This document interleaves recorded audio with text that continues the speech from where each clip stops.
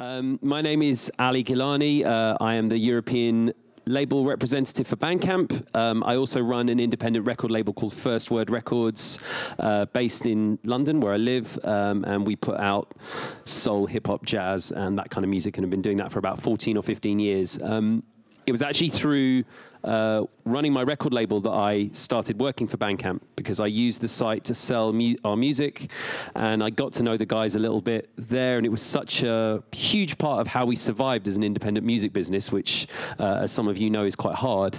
Um, that I asked if I could work for them, and uh, three years later, here I am talking to you. So. Um, I'm going to kind of uh, assume. How many of you sell music on Bandcamp? I can see a few here. And how many of you bought from the site before? A few more. Okay, cool. Um, so, uh, what I'll do, uh, the, the purpose of today is to kind of give you uh, seven or so tips on how to get the most out of being on the site and how to make money from it.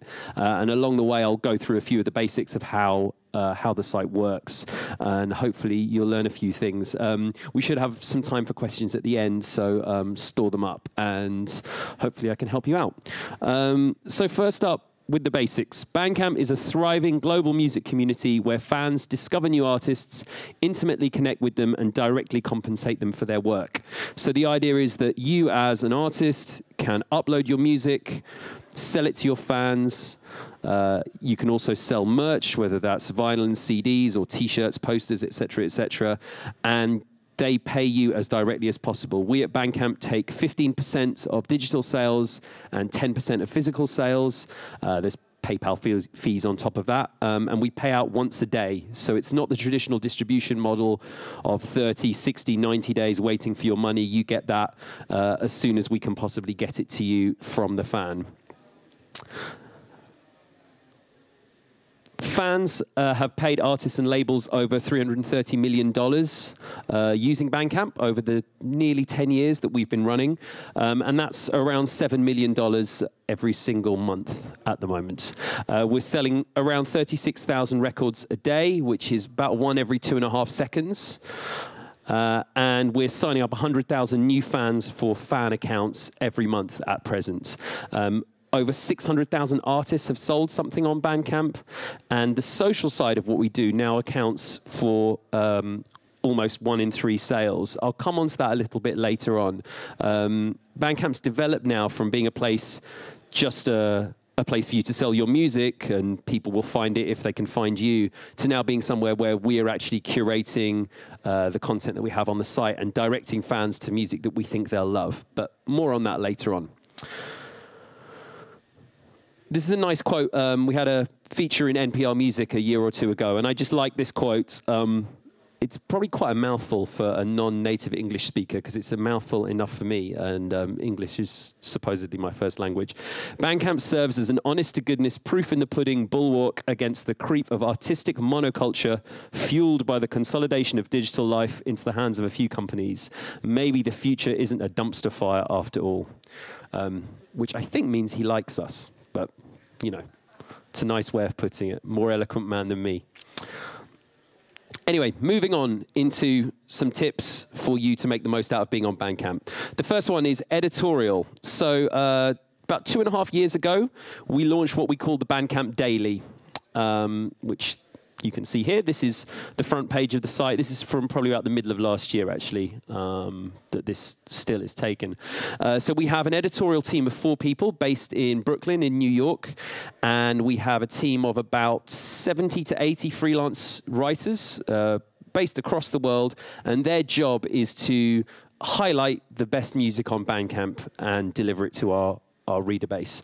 Um, so this is the front page of the site, bandcamp.com, and each of these images relates to a different article on the daily. Um, we currently get around a thousand pitches a week for inclusion in the daily, which is a lot. Um, so for the editors, it's about trying to find ways to cover things fully and in depth, but also try and cover as much as we possibly can as well. Um, what we never ever have happen with with the Bandcamp Daily is uh, what you will see on a lot of other blogs. Here is the new single from X. Copy and paste the press release, and we call that an article. That's not how we want to do things. We want to, wherever possible, interview the artist, um, go a little bit in depth, find out more about other artists like them, and present something that's interesting for people to read. Um, if you want your music uh, featured in the Bandcamp Daily, uh, you need to upload it to the site, make your page look good, more of which later on, make sure there's lots of information about the release, and send us the link, ideally eight or nine weeks ahead of when your release is coming out.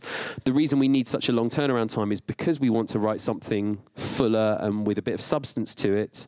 We need that amount of time to be able to commission a writer, edit, make sure that the article is as good as it possibly can be, and then get it up. Um, one of the other things we have to, as part of our editorial is the Bandcamp Weekly, which is our weekly radio show. Uh, this is um, put together by my colleague Andrew, who's based in California, and I sometimes guest host it. And we commission uh, an illustration of the featured artist of the week. This is Henry Wu from his album, uh, sometime in the middle of last year that he put out. And uh, we put a load of tracks in. The good thing about our radio show is that, um, unlike others where you'll hear a, a, track and think, oh, that's great, I should buy that, and maybe you never remember to do that. With ours, you just click visit album page, buy now, and you can buy that release straight away. So we're trying to take that gap from someone hearing something that they love to them spending some money on. We're trying to make that gap as short as possible. Um, incidentally, for all of this stuff, the place to send things to, if you have music you want to share with us, you can send it directly to our editorial team, which is just editorial at bandcamp.com. You can also send it to me, uh, which is Aly, A-L-Y, at bandcamp.com, and I can forward it on. I can't guarantee that your stuff will get written about, but I can guarantee it'll get listened to and get seen by our editorial team.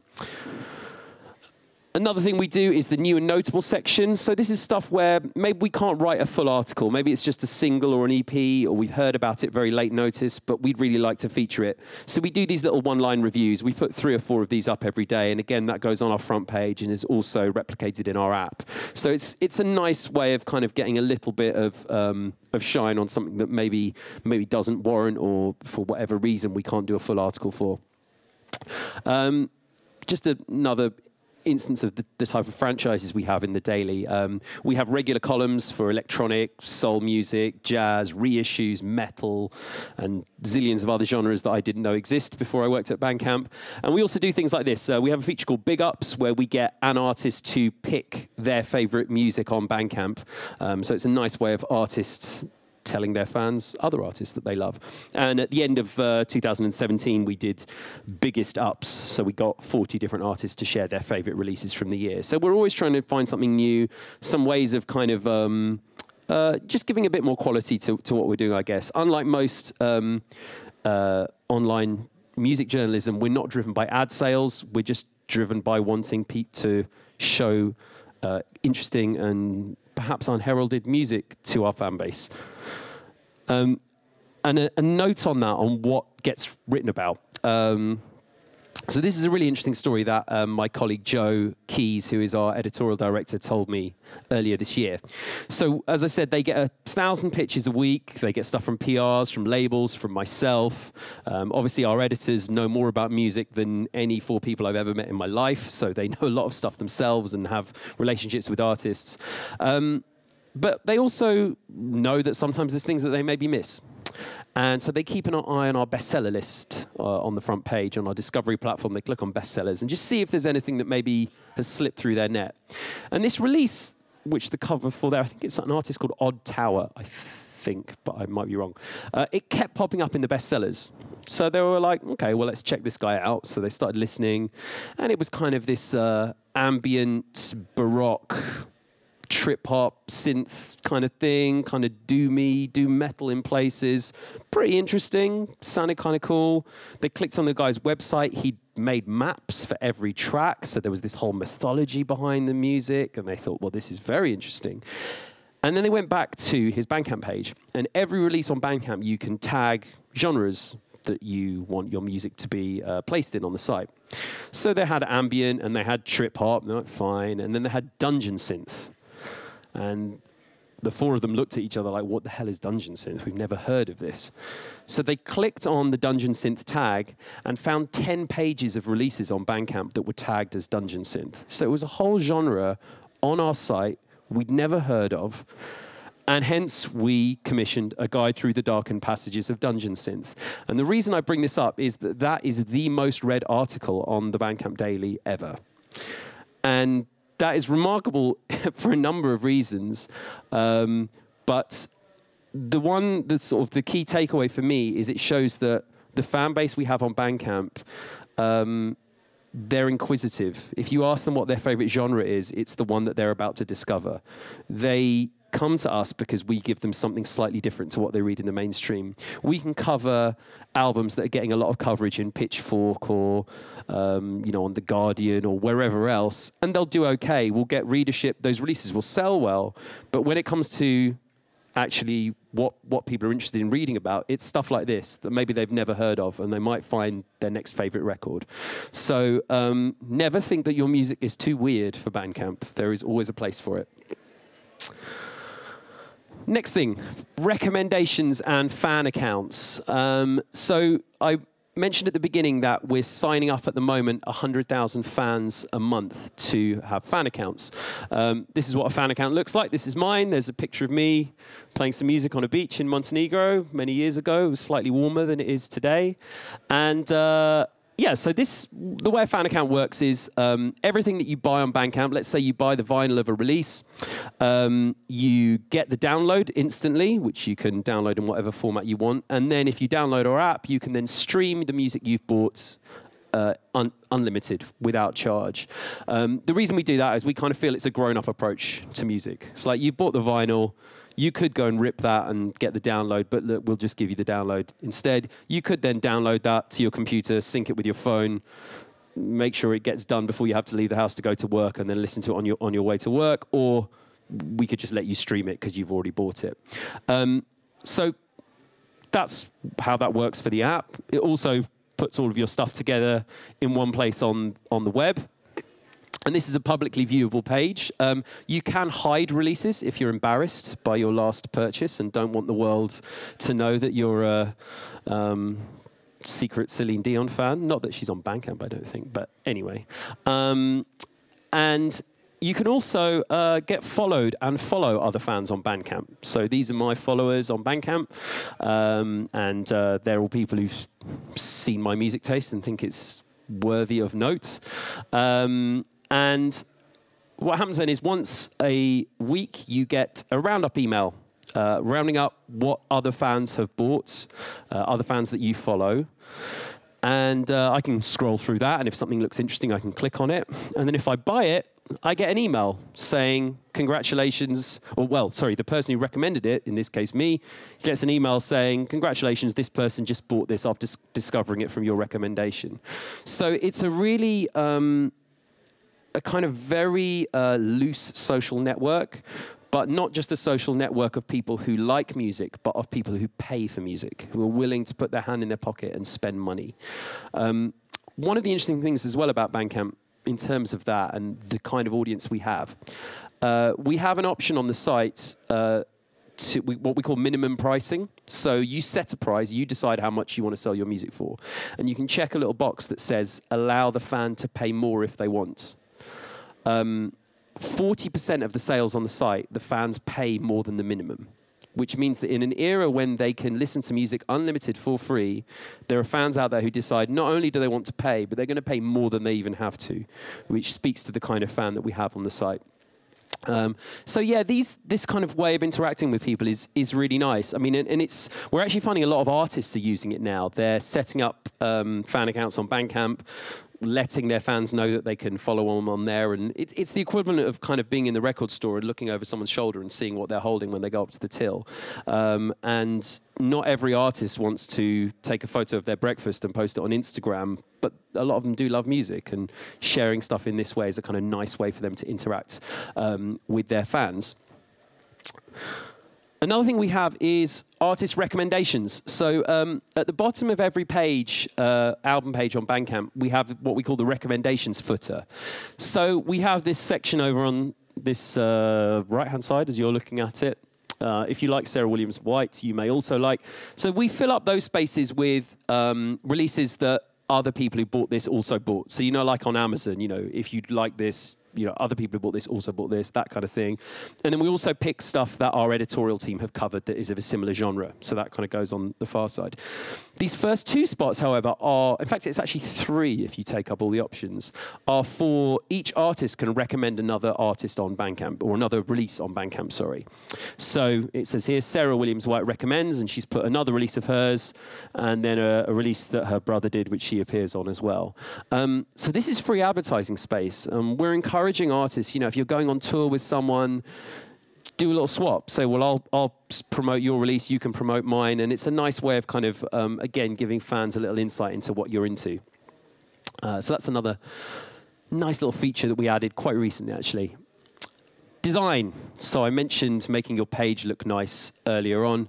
Um, and there are lots of ways to do that. Um, each page is completely customizable, so you can go in and either just change the colors of the header and the text and all of that, or you can get very creative, as people have done here. And there's you know, some really um, interesting things that people have done to kind of make the site feel their own. One of the reasons that people like using Bandcamp is they feel they are buying directly from the artist. So the more that you can personalize that and make the fan feel that connection with you, the better. Um, and people have done some pretty creative stuff, as you can see. Um, you can also add video. Um, so if you have a pro account, um, you can upload a video for e whichever track you want, and you can have that feature at the top of the page. Um, so this is one from uh, an artist of mine on my label. Um, and the cool thing about the video as well is you can actually embed, if you, all of our releases on Bandcamp, you can embed into any other website. If you embed the video, it will actually have the video, but it will have a buy button right underneath it. So not click on YouTube, go to the page, click that see more and then you see the little link to go and buy it. It's giving fans the option to just single click and they're in the page and they can then buy it if they like the video and like the release. Next thing to show you, stats. Everyone in the music industry likes to talk about stats, um, which is exciting, although sometimes I find I don't have enough time to actually do anything with those stats. But Anyway, there's a few things you can see here which give you a kind of uh, a little insight into how you're doing, and I find quite interesting. Um, so you can see a play count. So you can see complete, partial, and skipped plays for any release. It will show you how you're doing, and you can, as you can see at the top, you can expand the selection: seven days, 30 days, 60 all time. You also, I don't know if you can see, it says uh, seven days today in Defender. If you press Defender, you can play a little video game as well with your nice little um, graph that your sales have built. Um, I have no idea why that's there, but it is. So enjoy it. Um, you also get um, actually going back one. You, the one I've not got a slide for it, but Buzz is quite an interesting one. So if you click on Buzz, it shows you um, where your sales are coming from. So it basically shows you how people are visiting your page. So it's quite useful if you do some PR activity, you know, you've had a feature on an online magazine, you can actually see, well, is anyone actually clicking through and coming to the page? from that. Um, we also give you top plays from your embedded players. So again, you can see, oh, well, I had that feature in this thing and it took ages to organize that, but actually only five people pressed play. And is it worth it? Uh, you know, giving you just a kind of real kind of snapshot insight into how uh, the work that you're doing to promote your music is actually being received. You can see your sales and downloads. This isn't hard financial data. It's more just a trend-based thing to show you how you're doing at any one time. Um, and can be, uh, I when I have a new release go up, go up, I'm refreshing that page every five minutes to see what's going on with it. It can be quite exciting if you're uh, a little boring like me. Um, and we also have a map, so it shows you where people are buying your music, um, and it actually gives you a list of top cities as well, um, which I know people are using more and more for touring. They can actually see there's a few places here for some reason we're getting quite a lot of uh, joy with. And I guess if you you know combine this data with what you're getting from Spotify and other places, you can get a really good picture of your fan base and kind of what's going on, which is useful. Um, one thing that we offer, which not a lot of other people do offer, is uh, mailing list. So every sale you make on Bandcamp, you get an email address. That's not our data, that's your data. it is fully GDPR compliant, uh, and you can download um, those uh, emails whenever you want and import them into MailChimp or whichever other mailing list provider you're using. You can also download your sales report anytime you want. We pay out every single day, as I mentioned before, uh, and you can download your sales history at any time you like and see how things are doing. We're actually revamping the sales report. It's one of the oldest bits of the site. It's been there nearly 10 years. Um, and it works, but it's a little clunky. So by the end of this month, that's going to get revamped and it'll look nice and shiny and give you a, a little bit more insight into how things are going. Add merch. Now, for merch, I mean uh, either um, musical merch, so vinyl, CDs, cassettes. Cassettes do very, very well on Bandcamp. They're, it's like the fastest growing, um, uh, or one of the fastest growing merch types on the site. Um, merch now accounts uh, for just over half the revenue on the site. So even though you need the digital first, and you know it's primarily a place to sell digital music, um, sales of merch are a huge, huge part of why people use Bandcamp. And um, it's worth putting it up and taking some nice pictures. Um, I mean, these are kind of like very pro-looking, fancy photos, which you can do if you want, um, uh, and that's great. We actually have mock-ups, um, so if you don't have your stock yet, you can just drop your um, the cover in and it'll create what it would look like for, for, whichever format you're doing. But I think sometimes just photos like this, which, you know, that's just the guy stood in front of a wall. It's nothing, there's no fancy studio or anything like that. Um, I think sometimes stuff that's a bit more personal can actually be more effective than a super slick, you know, white studio shot um, and a picture of the artist wearing their own t-shirt or holding up the record or anything like that is actually I think kind of feeds into more of what people come to Bandcamp for um, than, than maybe something that's a bit slicker. But anyway, that's up to you. You can kind of play around with that. Promote, really obvious thing. Um, we find uh, I deal with a lot of record labels um, around Europe and um, quite often we get them signed up and then they say, oh, you know, we we put the thing up and we sold some, but not so many, and I don't know. And I go and look at their email out that they've done to promote the release, and there's a link to Spotify, and there's a link to Apple Music, and there's a link to you know a local shop that stocks it, but no link to Bandcamp. Um, we do a lot to encourage sales ourselves, you know, from the editorial and the the uh, social stuff with the fan accounts, etc., etc. But still, the number one way of getting people to come to your site is by you telling them. Particularly with a site as personal as Bandcamp, where it is your page. It doesn't belong to your distributor or anything like that. It, it's yours. Um, you sending fans directly to it is going to be very um, uh, persuasive. Um, so you know we do work with all these kind of major uh, you know Linkfire and companies like that that that give links. Um, you know it's worth putting us in there. Um, incidentally, as well, um, one of the things that. Uh, and this is kind of a personal thing, not necessarily a, a cross Bandcamp thing, but anyway, um, I often get people saying to us, uh, "We have this new release coming up. We're going to give it. If we give it to you for a week exclusively, could you give us some editorial coverage?" And we, we we've never done that, and we never will. Um, if people want to make it exclusive to us, great. It won't make us any more or less likely to um, cover their music. If it's good and we think our audience will be interested in it, we will cover it. But that's an editorial decision, not a, a business decision. Um, and we would always encourage people put your music everywhere. There's no point being just in one place. You've got to be wherever your fans are going to be. Um, but we think that Bandcamp is a place where a lot of fans are now. So, you know, by all means, uh, have it up in all these other places, but have it in Bandcamp too, because for some fans, that's their go-to place to buy new music. Um, we also have a page, bandcamp.com forward slash buttons, and there are about 40 versions of our logo in whatever color and format you like. So you can download them and use them to put them on your newsletter, put it on your website, make sure that people know you have a Bandcamp page, and uh, uh, link through to that and uh, get people buying. The last thing I wanted to show you um, is our artist app, which we launched about a year ago. Um, so it's available on iOS and on Android. Um, and uh, I've got a short video to show you, which will explain better than me how that works. So that's this.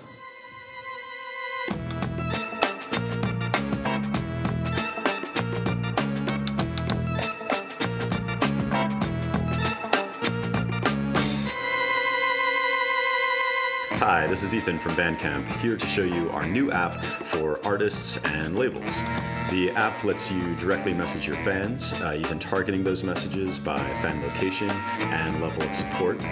It also gives you a real time mobile view into your stats and also helps you manage and fulfill your merch. So let's take a look. All right, this is the Home tab where you have an overview of your plays and sales.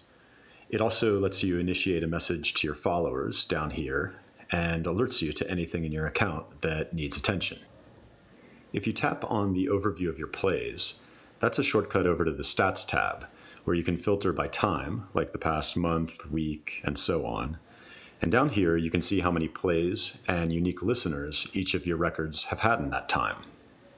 If you tap on an album, you can see its plays broken down by track, including the number of complete plays, partial plays, and skips. You can also view your sales stats from here, so I'll go to that tab. And for each of the items you have for sale, you can see total sales and number of purchases. And then you can tap the item to see the sources of those sales. So, for example, many of this album's sales came from Google searches and also from Bandcamp's own discovery tools. You can also communicate with your fans from inside the app. And to do that, you tap on the Messages tab, tap New Message, go ahead and compose your message, and add a photo. Right here, we show you how many people your message will go to, which is the number of fans you have in any location who have spent any amount. If you're a Bandcamp Pro subscriber or have a label account, you can also target those fans by location and their level of support. So to do that, you just tap here, and then in the filter settings, tap on location. So if you're on tour and heading, say, to Seattle, you can enter that here. And now you can see that the message is just targeting fans within 20 miles of Seattle. And you can adjust that range if you like. And if you wanted to do something like a VIP meet and greet, down here you can also filter by amount spent. And as you change these settings, you can see that the recipient count updates right up here. Let's switch this back to any level of support and go ahead and send the message. And when you do that, it's not like social media where you're competing with thousands of other posts and need to pay to boost your post just to get your followers to see it. When you send this message, it's not only delivered inside the Bandcamp fan app, but it's also delivered to your followers via email, just like a standard newsletter. Now, fans can, of course, opt out of that and just get your messages in the app if they prefer. But the default here is that if you send a message, we're going to do our best to make sure that your fans actually get it. After you send the message, you can see it appears right here, and your fans can comment on the message. And if you like, you can reply back. You also have a Fans tab, which shows you all your fans and lets you search and filter by date and amount spent. And when you tap on a fan, you can see their purchase history and even send them a direct message. Next is the Merch Orders tab, which lets you view your unshipped orders view any special instructions left by the customer, update a customer's address if you need to, and mark orders as shipped. You can also search through your orders and view all your shipped orders as well. Okay, over on your Profile tab, you can update your photo, bio, and genre tags, but the coolest bit is that you can edit all of your merch from here. You just tap on the Merchandise tab, and there's a list of all the merch you're selling on Bandcamp. If a merch item is missing images, that's called out here, and you can just tap that and then add a photo right from your phone.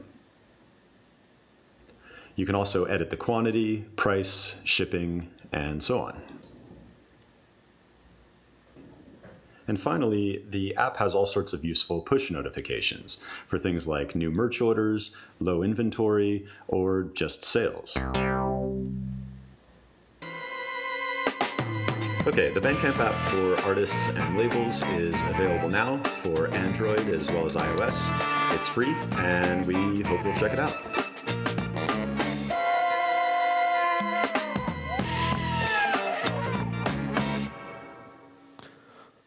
Okay, so that was um, a video by my boss.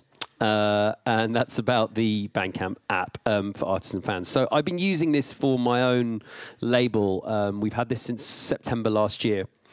And uh, it's kind of interesting how what works and what doesn't. Um, so I did a we we had a show like a birthday for our label last year in London. So I messaged everyone within London saying here's a discount code, twenty percent off tickets, blah blah blah.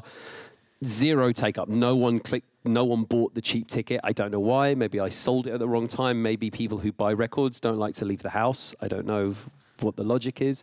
Um, equally, we did something where we put up um, a 20% sale and put a code, download a discount code, sorry, um, and we sold about two thousand pounds worth of records in a day. It was crazy. People were really kind of into it. So um, it's definitely something to experiment with. Um, one of the things it didn't show you in, in the video is that you can add a photo. You can actually add video as well.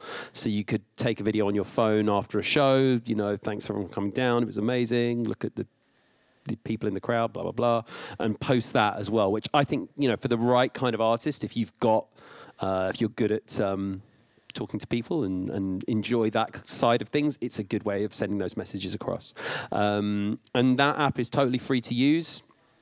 Uh, and it's free to download from from the App Store, um, and definitely worth checking out if you have a Bandcamp account. It's one of those things the more fans you have on the site, the more um, effective that becomes as a as a way of um, promoting what you're doing. But it's it's certainly helping quite a few people out at the moment uh, with things like restocks of out of sales stock and that kind of thing.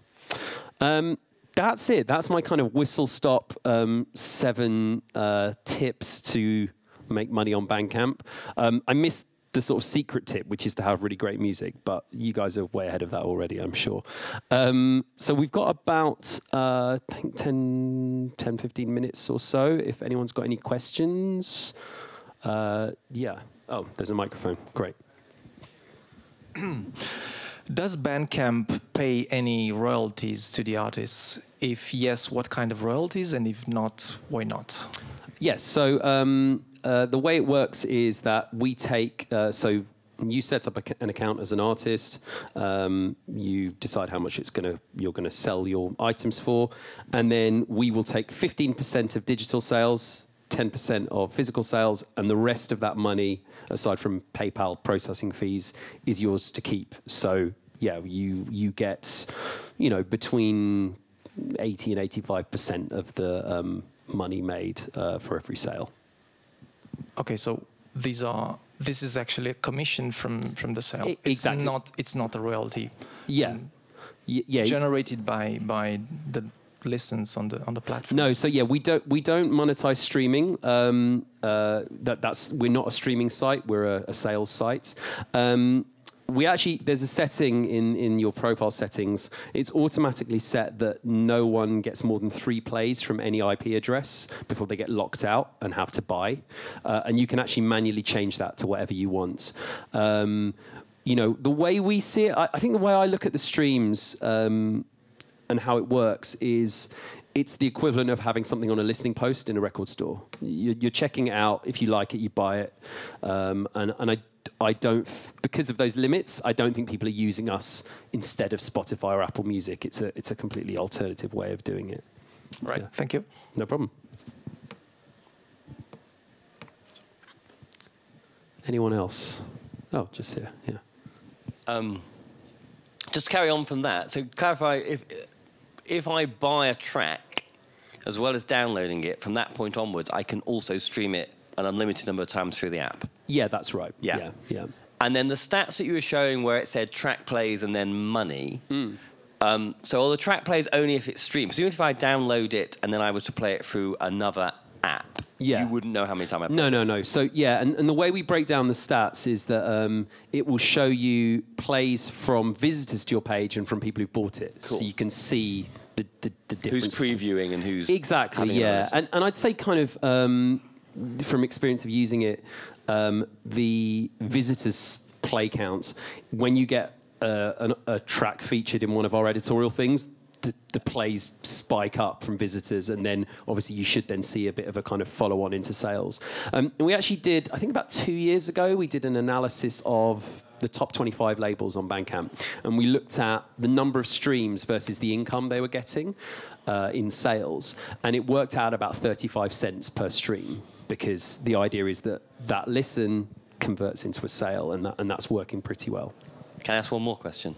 Um, fans can also navigate through the app. I'm right in saying that. So the app you just mm-hmm. showed us was more for the artists, but, yeah. but fans can also use the app. Do you have any uh, um, any stats on of the people using Bandcamp? What percentage are using it through the app, and what percentage are going to to the website? Um, I don't actually, but yeah, I I, I will seek that out. Um, I think. I mean, uh, we're finding. I think that. Um, so some of the editorial stuff I showed. So uh, we have an album of the day, which is an album of the day, and you know we put one of those up. I think every weekday, maybe not on the weekends. Um, and that and the new and notable stuff shows up in the app as well. And I know that's a very big bonus because some of the bigger articles, you know, they're not going to fit in the format of the app. Um, I don't have the stats on that, but I'll try and look that up because it's an interesting, you know, yeah, it's an interesting thing to know for sure. Anyone else? One just over here.